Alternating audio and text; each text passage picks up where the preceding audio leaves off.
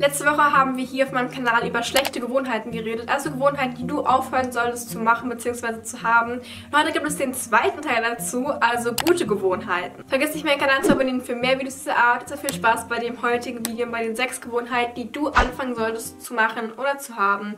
Oder wie auch immer man das sagt. Viel Spaß dabei. Also die erste Sache hat mein Leben wirklich so verbessert. Und zwar ist eine Liste zu machen mit Dingen, die du lernst.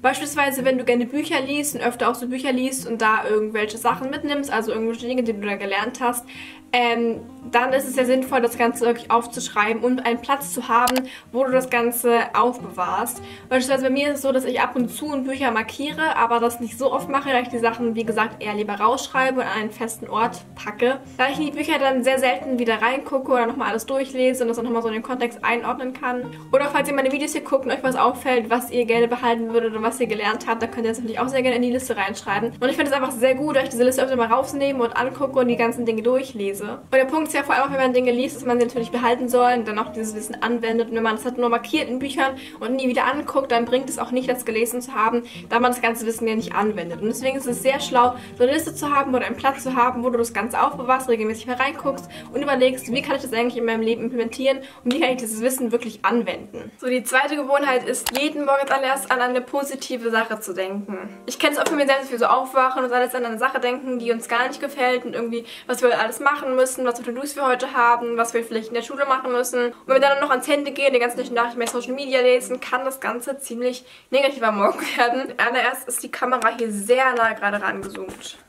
So.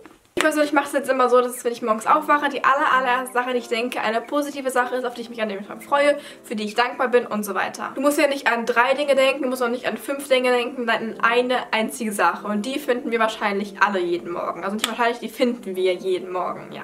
Die nächste Gewohnheit ist, auf Fleisch zu verzichten, beziehungsweise mal vegetarisch oder vegan zu sein. Wie ihr vielleicht wisst, bin ich ja Veganerin, also ich ernähre mich vegan. Das heißt, ich esse überhaupt keine tierischen Produkte. Und ich glaube, man denkt am Anfang immer, dass es super schwierig ist. Aber ich kenne von mir persönlich und auch von meinen ganzen FreundInnen und Bekannten, die mir das so erzählt haben, dass es halt wirklich so ist, dass man am Anfang immer denkt, es ist super schwer, aber dann ist es doch nicht so schwer. So geht es vielleicht mal für eine Woche aus oder macht vielleicht mal einen vegetarischen Tag in der Woche oder einen veganen Tag in der Woche und tastet euch dann so langsam ran. Aber das ist eigentlich eine ziemlich, ziemlich gute Gewohnheit. Also ja, wenn mir eine Sache sehr wichtig ist in diesem Video, das ist, glaube ich, diese Gewohnheit. Und übrigens habe ich dazu auch schon mehrere Videos. Also falls du dich für Veganismus interessierst, kannst du dir sehr gerne mal meine Playlist dazu angucken und da wirst du auf jeden Fall ein bisschen Input von mir finden. Übrigens, kleiner Einwand, vergiss nicht, meinen Kanal zu abonnieren für mehr Videos dieser Art und du findest auf meinem Kanal jeden Donnerstag und Sonntag hier ein neues Video zu genau diesen Themen, die ich in diesem Video auch anspreche. Der nächste Punkt, der mega, mega wichtig ist, ist regelmäßig deine Medikamente, Supplemente, Vitamine, was auch immer du nehmen möchtest oder musst, das auch regelmäßig dann wirklich zu nehmen. Bei mir ist es so, dass ich nämlich Vitamin B12 täglich zu mir nehme, beziehungsweise nehmen sollte. Aber ich weiß nicht, ich bin halt manchmal auch so, dass ich es einfach vergesse oder einfach nicht mache oder nicht dran denke. Und es ist halt eine echt schlechte Gewohnheit, das nicht zu machen.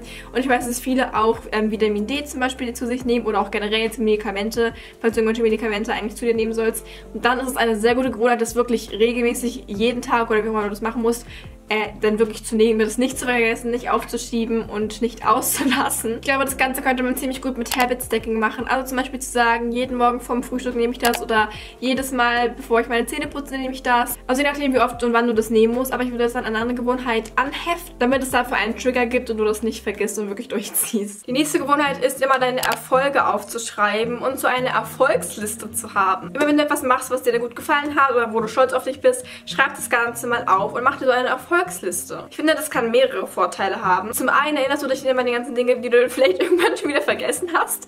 Und zum anderen kannst du das Ganze angucken, wenn du dich vielleicht schlecht fühlst oder irgendwie denkst, dass du gerade nichts kannst. Da kann es, glaube ich, sehr helfen, sich mal sowas anzugucken. Aber ich glaube auch, um dich an deine ganzen Stärken und Schwächen vielleicht zu erinnern. Beispielsweise, wenn du das Ganze mal irgendwann angeben musst oder darüber selbst reflektieren möchtest, was sind eigentlich so meine Stärken und was kann ich gut, kannst du dann auf diese Erfolgsliste zurückgucken. Und ich glaube, das ist eine echt, echt gute Idee. Und das regelmäßig zu machen ist, äh, sehr vorteilhaft. Das sollte ich auch mal regelmäßig machen.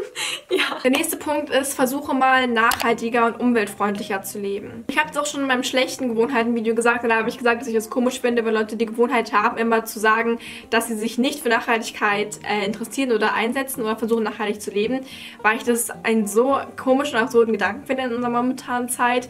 Aber wie ich auch schon mal letzten Video angesprochen, in meinem vorletzten Video angesprochen habe, möchte ich bald mal so ein Video machen zum Thema 10 Arten, 10 Wege, wie man äh, ein bisschen nachhaltiger leben kann. Und ich finde einfach, dass dieses regelmäßig mal darüber nachdenken, reflektieren, gucken, wo kann ich mich ein bisschen verbessern in dieser Hinsicht, eine sehr, sehr gute Gewohnheit ist. Jetzt hast du sechs neue Ideen für sechs neue Gewohnheiten, die du 2021 machen kannst, haben kannst, wie auch immer. Falls du jetzt über Gewohnheiten Bescheid wissen möchtest, die du vielleicht nicht machen solltest, dann kannst du sehr gerne mal bei diesem Video hier vorbeigucken. Ich wünsche dir viel Spaß beim Angucken und dir noch einen wunderschönen Tag und hoffe, dass wir uns bald hier mal wiedersehen.